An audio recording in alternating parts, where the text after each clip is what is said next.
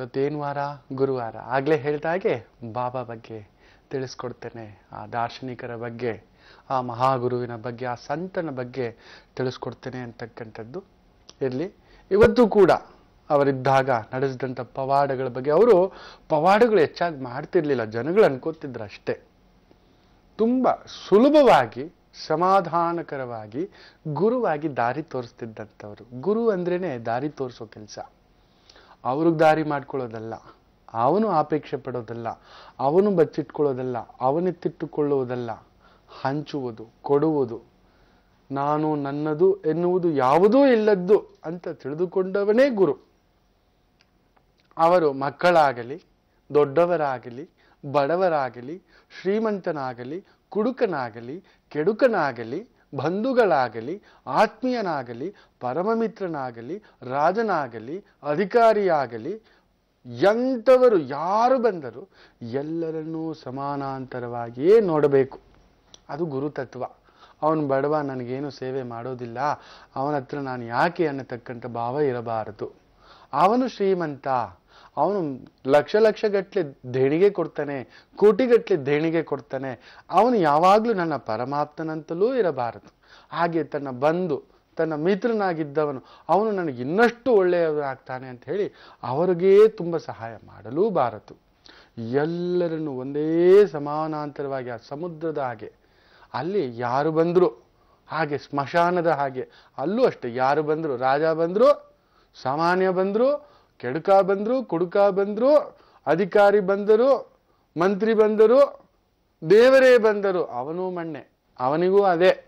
ಏನು? ತುಂಬ ದೊಡ್ಡ ಅಧಿಕಾರಿಗೆ ಒಂದಷ್ಟು ತುಪ್ಪ ಹಾಕಿ ಸುಡ್ತಾರೆ ತುಂಬ ಸಾಮಾನ್ಯನಾಗಿರ್ತಕ್ಕಂಥವರಿಗೆ ಒಂದಷ್ಟು ಸೀಮೆಣ್ಣೆ ಹಾಕಿ ಸುಡ್ತಾರೆ ಅಷ್ಟೇ. ಇನ್ನೇನೂ ಇಲ್ಲ. ಎಲ್ಲವನ್ನ ಮೈ ಮೇಲೆ ಇರೋದೆಲ್ಲ ಕಿತ್ತು ಹಾಕಡೆ ಹಾಕಿ ಅಲ್ಲಿ ಹಾಕ್ತಾರೆ.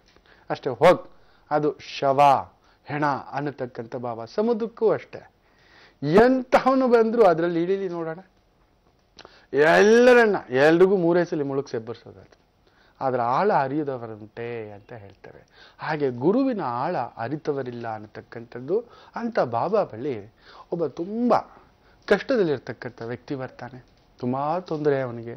ಪೆಟ್ಟಿನ ಮೇಲೆ ಪೆಟ್ಟು, ಪೆಟ್ಟಿನ ಮೇಲೆ ಪೆಟ್ಟು, ತುಂಬ ಸಹಾಯ ಮಾಡಿದಂಥ ವ್ಯಕ್ತಿ ಎಲ್ಲರಿಗೂ ಎಲ್ಲರಿಗೂ ತನ್ನ ತಾಯಿಯಿಂದಲೂ, ತನ್ನ ಒಡಹುಟ್ಟಿದವರಿಂದಲೂ ತನ್ನ ಬಂಧುಗಳಿಂದಲೂ, ತನ್ನ ಆತ್ಮೀಯರಿಂದಲೂ, ತನ್ನ ಸ್ನೇಹಿತರಿಂದಲೂ, ತನ್ನ ಅಧಿಕಾರಿಗಳಿಂದಲೂ ಎಲ್ಲರಿಂದಲೂ ನಜುಗುಜಾಗ್ಬಿಟ್ಟಿರ್ತಾನೆ ಏಟಿನ ಮೇಲೆ ಏಟು, ಅವನಿಗೆ ಕಲ್ಲೇಟು ಮೇಲೆ ಕಲ್ಲೇಟು.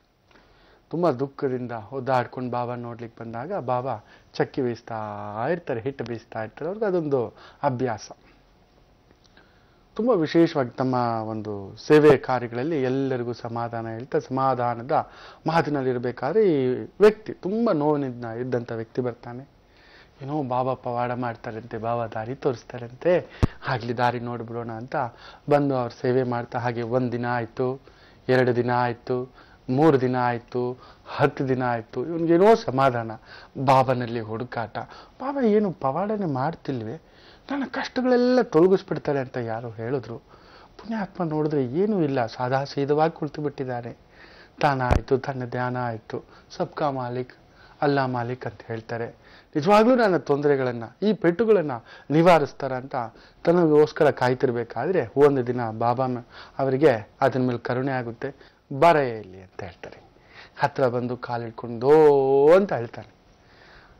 ಯಾವ ಮಟ್ಟಕ್ಕೆ ಕಳ್ತಿಲ್ಲಂದ್ರೆ ಅವನನ್ನು ಅಳೋವರೆಗೂ ಆ ಮಡ್ಲಲ್ಲಿ ಮಲಗಿಸ್ಕೊಂಡು ಹೀಗೆ ತಟ್ಟಿದ್ರೆ, ಆಯ್ತೋ, ಆ ತಲೆ ನೇವರಿಸ್ತಾ, ಆಯ್ತಾ, ಅತ್ತ, ನಿನ್ನ ದುಃಖ ಎಲ್ಲ ಕಳ್ಕೊಂಡ, ಸಮಾಧಾನ ಆಯ್ತಾ, ನಿನ್ನ ಕಣ್ಣೀರೆಲ್ಲ ತೊಳಿತಾ ಅಂದಾಗ, ಗುರುಗಳೇ, ಏನು ಸಮಾಧಾನ ಗುರುಗಳೇ, ಆಳುಗೊಂದು ಕಲ್ಲು ಹಾಕ್ತಾರೆ ಗುರುಗಳೇ, ಆಳುಗೊಂದು ಕಲ್ಲು ಸಾಕಾಗ್ಬಿಟ್ಟಿದೆ, ತಡ್ಕೊಳಕ್ಕಾಗ್ತಿಲ್ಲ, ಒಂದು ಕಲ್ಲು, ಎರಡು ಕಲ್ಲು, ಮೂರು ಕಲ್ಲು ಅಂದರೆ ಪರವಾಗಿಲ್ಲ ಹೆತ್ತವಳನ್ನ ಚೆನ್ನಾಗಿ ನೋಡಿದೆ ಅವಳು ಯಾಕೋ ಮನಸ್ಸು ಹೊಡೆದಂಥ ಮಾತು ಕಟ್ಟಿಕೊಂಡವಳನ್ನು ಸ್ವಲ್ಪ ಸಮಾಧಾನ ಮಾಡೋಕೆ ನೋಡಿದೆ ಅವಳೊಂದು ಕಲ್ಲು, ಹೆತ್ತ ಮಗನ ಕಡೆ ನೋಡಿದೆ ಅವನೊಂದು ಕಲ್ಲು. ಆ ಒಂದು ಸೃಷ್ಟಿಕರ್ತನಾದ ತಂದೆ ಬಳಿಗೆ ಹೋದರೆ ಅವನೊಂದು ಕಲ್ಲು. ಸ್ನೇಹಿತನ ಹತ್ರ ಹೋದರೆ ಅವನು ನಾಲ್ಕಾರು ಕಲ್ಲು. ಮಿತ್ರನ ಹತ್ರ ಹೋದ್ರು ಕಲ್ಲು. ಅಧಿಕಾರಿ ಹತ್ರ ಹೋದ್ರು ಕಲ್ಲು. ಎಲ್ಲರೂ ನೋವಿನ ಮೇಲೆ ನೋವು ಹಾಕಿಬಿಟ್ಟಿದ್ದಾರೆ ಗುರುಗಳೇ. ಈ ಕಲ್ಲಿನ ಪೆಟ್ಟುಗಳನ್ನು ತಡ್ಕೊಳ್ಳೋ ಸ್ಥಿತಿನಲ್ಲಿ ನಾನಿಲ್ಲ. ದಯವಿಟ್ಟು ಇದಕ್ಕೊಂದು ದಾರಿ ತೋರಿಸಿ. ನೀವು ತುಂಬ ಪವಾಡ ಮಾಡ್ತೀರಂತೆ ಕೇಳ್ಕೊಂಡಿದ್ದೇನೆ. ದಯವಿಟ್ಟು ಏನಾದರೂ ಮಾಡಿ ನನ್ನನ್ನು ಈ ಸಂಕಷ್ಟದಿಂದ ಪಾರು ಮಾಡಿ ಗುರುಗಳೇ. ದಯವಿಟ್ಟು ಬಾಬಾ ಅಂತ ಕೇಳ್ಕೊಂಡಾಗ ಬಾಬಾ ಒಂದು ಒಂದು ನಿಮಿಷ ಈಗ ನೋಡಿದಂತೆ. ಇಷ್ಟೇನಾ? ಇಷ್ಟೇನು ಒಪ್ಪಿದ್ದ? ಬುದ್ಧಿವಂತನಾದರೆ ಹೇಗೆ ಬೇಕಾದರೂ ಈ ಪೆಟ್ಟುಗಳನ್ನು ನಿವಾರಿಸ್ಕೋಬೋದು. ನಿನ್ನಲ್ಲಿಯೇ ಇದೆಯೋ ಗೆಲುವು, ಎಲ್ಲಿಗೋ ಓಡಿ ಬಂದಿದೆಯಲ್ಲೋ, ಈ ಹುಚ್ಚಿನ ಹತ್ರ, ನನ್ನ ಹತ್ರ ಏನಿದೆಯೋ, ನಿನ್ನ ಹತ್ರ ಇರೋ ಒಂದು ಉತ್ತರಗಳನ್ನು ಬಿಟ್ಟು ನನ್ನ ಹತ್ರ ಬಂದುಬಿಟ್ಟಿದೆಯಲ್ಲೋ ಅಂದರೆ ಇವನಿಗೆ ಆಶ್ಚರ್ಯ ಆಗಿಬಿಡುತ್ತೆ. ಏನಿದು? ಗುರುಗಳು ನೋಡಿದ್ರೆ ಹೀಗೆ ಹೇಳ್ತಿದಾರಲ್ಲ ಅಂತ ಹೇಳಿಬಿಟ್ಟು, ಏನು ಗುರುಗಳೇ, ನೀವು ಹೀಗೆ ಹೇಳ್ತೀರಾ? ಅಂದಾಗ, ಬಾ, ತೋರಿಸ್ತೀನಿ ಬಾ ನಿನಗೆ. ಆ ಕಲ್ಲುಗಳನ್ನು ಪೆಟ್ಟುಗಳನ್ನು ಹೇಗೆ ತಡ್ಕೊಳ್ಳೋದು ಅಂತ ತೋರಿಸ್ತೀನಿ ಬಾ ಅಂತ ಕರ್ಕೊಂಡು ಬರ್ತಾರಂತೆ. ಅಲ್ಲೇ ಒಂದು ಸ್ವಲ್ಪ ದೂರದಲ್ಲಿ ಹೋದರೆ ಒಬ್ಬ ಕೂಲಿ ಕೆಲಸ ಮಾಡ್ತಿದ್ದಂಥ ವ್ಯಕ್ತಿ, ತನ್ನ ಹೆಂಡತಿ, ಮೂರು ಜನ ಮಕ್ಕಳು, ಅಲ್ಲಿ ಗುಡಿಸ್ಲೂ ಇಲ್ಲ, ಒಂದು ಮರದ ಕೆಳಗಡೆ ರಣ ಬಿಸಿಲು ಆ ಮಕ್ಕಳ ಜೊತೆಗೆ ಆಕೆ ಒಂದು ಮಗುಗೆ ಹಾಲು ಕುಡಿಸ್ತಾ, ಆ ಚಿಕ್ಕ ಒಲೆಯಲ್ಲಿ ಆ ಒಂದು ಸೌದೆ ಒಲೆಯಲ್ಲಿ ಅಲ್ಲೇ, ಆ ಬಿಸಿಲಲ್ಲೇ, ಆ ಒಂದು ಗಂಜಿ ಕಾಯಿಸ್ತಾ ಮಾಡ್ತಿದ್ರೆ ಒಂದು ಮಗು ಅಲ್ಲಿ ಗಲಾಟೆ, ಅವನನ್ನು ಮರಕ್ಕೆ ಕಟ್ಟಾಕಿದಾಳಂತೆ. ಇನ್ನೊಂದು ಮಗುಗೆ ಒಂದು ಕೋಲಲ್ಲಿ ಹಿಂಗಂತ ಇನ್ನೊಂದು ಸೌಟಲ್ಲಿ ಹಿಂಗಂತ ಆ ಯಜಮಾನಿಗೆ, ರೀ, ಆಯಿತು ಗಂಜಿ ತೊಗೊಂಡು ಬಂದೆ ಅಂತ ಹೇಳ್ತಿದ್ರೆ, ಅವನಲ್ಲೇ ಒಂದೊಂದೇ ಕಲ್ಲು ತೊಗೊಂಡೋಗಿ ಜೋಡಿಸ್ತಾ ಕಟ್ತಾ ಇದ್ದಾನಂತೆ. ಅಲ್ಲಿ ನೋಡಿದ್ರೆ ಮೇಲಧಿಕಾರಿ, ಏನೋ ಮಾಡ್ತಿದ್ದೀಯಾ, ಇನ್ನೂ ಕೆಲಸ ಮಾಡ್ತೀರಾ? ಸರಿ ಮಾಡೋ ಅಂತ. ಇನ್ನೊಬ್ಬ ಮೇಸ್ತ್ರಿ ಬರ್ತಾನಂತೆ. ಅಲ್ಲಯ್ಯ ಸಿಮೆಂಟ್ ಕಲ್ಸಿಲ್ವಲ್ಲಯ್ಯ ನೀನು? ಅಂತ ಹೇಳಿಬಿಟ್ಟು ತಳ್ಳೆ ಬಿಟ್ಟನಂತೆ ನಿನಗೆ ಕೂಲಿನಲ್ಲಿ ಕಡಿಮೆ ಮಾಡ್ತೀನಿ ಅಂತ. ಅವನಾದರೂ, ಆಯಿತು ಅಯ್ಯ, ನಾನು ಮಾಡಿ ಮುಗಿಸ್ತೇನೆ ಅಂತ. ಬಂದು ಆ ಗಂಜಿಯನ್ನ ಗಬಗಬ ಅಂತ ತಿಂದು, ತನ್ನ ಹೆಂಡತಿಗೆ ನೀನು ತಿನ್ಕೊಂಬಂತ ಮತ್ತು ಹೋಗಿ ಒಂದೊಂದೇ ಕಲ್ಲನ್ನು ಜೋಡಿಸ್ತಿದ್ದಾನಂತೆ. ಇದನ್ನು ನೋಡಿದ್ಯೇನೋ? ಏನಾದರೂ ಅರ್ಥ ಆಯ್ತಾ ಅಂತ. ಇಲ್ಲ ಗುರುಗಳೇ ಅಂತ. ನೋಡು, ಗಂಜಿಗೂ ಕಷ್ಟಪಡ್ತಿದೆ ನಿನ್ನ ಸೌಕರ್ಯ ಇದೆ.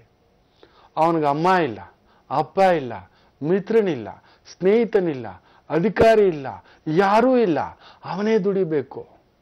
ನೋಡು, ಆ ಪೆಟ್ಟುಗಳು ಬೀಳ್ತಿದ್ರು ಒಂದೊಂದೇ ಕಲ್ಲನ್ನು, ಆ ಪೆಟ್ಟಿನ ಕಲ್ಲುಗಳನ್ನು ಜೋಡಿಸಿ ಕಟ್ಟಡ ಮಾಡ್ತಿದ್ದಾನೆ, ಸೇತುವೆ ಮಾಡ್ತಿದ್ದಾನೆ, ದಾರಿಗೆ, ಗಮ್ಯಕ್ಕೆ, ಆ ಮಕ್ಕಳ ಭವಿಷ್ಯತ್ತಿಗೆ ತನ್ನ ಕೆಲಸ ತಾನು ಮಾಡ್ತಿದ್ದಾನೆ. ಆ ಕಡೆ ನೋಡ್ತಿದ್ದಾನ, ಹೆಂಡತಿ ಒದ್ದಾಟದಲ್ಲಿದ್ದಾಳ? ಆ ಮಗುನ ಕುಡಿಸ್ಕೊಂಡು ಆ ಒಂದು ಹಾಲು ಕುಡಿಸ್ತಾ ಗಂಜಿ ಮಾಡ್ತಾ ಒಂದು ಮಗುನ ಹೀಗೆ ಸುಧಾರಿಸ್ತಾ ಇನ್ನೊಂದು ಮಗುನ ಕಟ್ಟಾಕಿದೆ. ಅದ್ರ ಕಡೆ ತಲೆ ಕೆಡ್ಸ್ಕೊತಿದ್ದಾನ, ಇಲ್ಲ. ಆ ಕಲ್ಲನ್ನ ಮೇಲಾಧಿಕಾರಿ ಬೈತಿದ್ದಾನೆ, ಇನ್ನೊಬ್ಬ ಕೂಲಿ ಕೊಡಲ್ಲ ಅಂತಿದ್ದಾನೆ, ಇನ್ನೊಬ್ಬ ಬೈದೇ ಬಿಟ್ಟ, ಇನ್ನೊಬ್ಬ ಹೊಡೆದೇ ಬಿಟ್ಟ, ಇನ್ನೊಬ್ಬ ಬರೋದಿಲ್ಲ ನಿನ್ನ ಸಹಾಯಕ್ಕೆ ಅಂತಿದ್ದಾನೆ. ಅವನೊಬ್ಬನೇ ನೋಡಿ ಎಷ್ಟು ಚಂದವಾಗಿ ಕಟ್ತಿದ್ದಾನೆ ಅಂದಾಗ ದಂಗಾಗಿ ಬಿಟ್ಟನಂತೆ. ಆ ಒಂದು ಮನುಷ್ಯ ಬಡ ಮನುಷ್ಯ. ಗುರುಗಳು ಹೇಳಿದ್ರಂತೆ, ಪೆಟ್ಟುಗಳು, ಕಲ್ಲುಗಳು ಬೀಳ್ತಾನೆ ಇರುತ್ತೆ. ಬುದ್ಧಿವಂತನಾದವನು ಅದರಿಂದ ಒಂದು ಕೋಟೆ ಕಟ್ಟಬಲ್ಲ. ಒಂದು ಅಣೆಕಟ್ಟು ಕಟ್ಟಬಲ್ಲ, ಒಂದು ಗ್ರಹವನ್ನು ಕಟ್ಟಬಲ್ಲ, ಅರಮನೆ ಕಟ್ಟಬಲ್ಲ. ಅಷ್ಟೇ ಕಣೋ, ನೋಡು ಅಂತ ಹೇಳಿದಾಗ ಅರ್ಥ ಆಯಿತು. ಗುರುಗಳೇ, ನನಗೆ ಉತ್ತರ ತೋರಿಸ್ಕೊಟ್ಬಿಟ್ರಿ ಅಂತ ಕಾಲಿಗೆ ಬಿದ್ದು ನಮಸ್ತೆ ಹೇಳಿ ಹೋದಂತೆ ಹಾಗೆ ಜೀವನದಲ್ಲಿ ನಮಗೆ ಪೆಟ್ಟುಗಳು, ಕಲ್ಲುಗಳು ಬೀಳ್ತಾನೆ ಇರುತ್ತೆ. ಹಲವಾರು ಜನ ಪತ್ರಗಳು ಬರೀತಿದ್ದಾರೆ. ಸಾವಿರಾರು ಜನ ಸಾವಿರಾರು ಜನ ಪತ್ರಗಳು ತಮ್ಮ ಫೋನ್ ನಂಬರ್ ಸಮೇತ ಬರೆದು ನಮಗೂ ಕರೆ ಮಾಡ್ತಾರೆ ಗುರುಜಿ ಅನ್ನತಕ್ಕಂಥ ಕಾತುರತೆಯಿಂದ ಕಾಯ್ತಿದ್ದೀರಾ? ವಸಂತಿ ಅಂತ ತುಂಬಾ ದುಃಖದಿಂದ ಪತ್ರ ಬರ್ತಿದ್ದೀರಾ?